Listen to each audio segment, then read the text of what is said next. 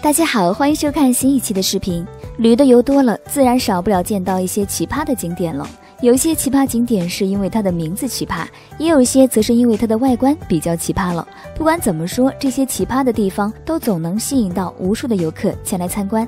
今天小编就带大家认识一个新晋的奇葩网红景点，位于越南岘港的金桥。每当太阳升起，这座金桥就会放出耀眼夺目的金色光芒。但这并不是它的奇葩之处，它的奇葩之处就在于托起它来的那两只巨手。远远的看去，如同如来佛祖现世，用双手托起了光芒万丈的金桥。据了解，这座桥是近年来才建成的，总耗资高达二十亿美元，约合人民币一百三十亿元。可以说是相当大的工程了。整座桥的桥身以及护栏都是用金色的钢板和钢管打造的，桥底部的人行道部分则是用木板拼接而成的，而布满青苔的佛手部分看似是用石头雕刻而成的，其实是用钢架作为骨骼，后用铁丝网混凝土等材料做成的。走在这座金桥上，不仅可以近距离的感受这双佛手的宏伟气势，还可以欣赏到桥下绿树花海的美丽景色，仿佛置身在了仙境一般。这座桥一经建成，便吸引了大量的游客前来观光，